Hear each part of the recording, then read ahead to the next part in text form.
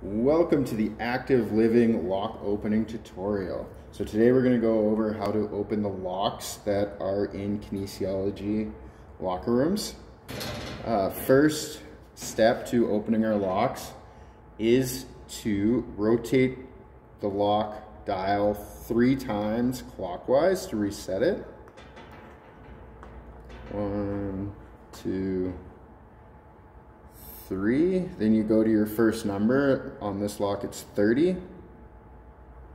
Then you rotate it one full rotation counterclockwise. The second number for this lock is 20, so then I go to that number. Then you go back clockwise to directly to the next number, which on this lock is 6. So there's a little click. You may not have been able to hear it, but I felt it. Then you go back counterclockwise until it stops, and then pull down.